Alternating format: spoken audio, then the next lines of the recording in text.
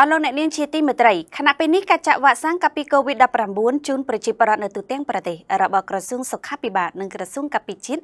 គឺសម្រេចបានចំនួន15លាន311,747នាក់សូមបញ្ជាក់ថាតួលេខនេះគឺគិតត្រឹមថ្ងៃទី14ខែវិច្ឆិកាឆ្នាំ2023 កត្រឹមយប់ថ្ងៃទី14ខែវិច្ឆិកាឆ្នាំ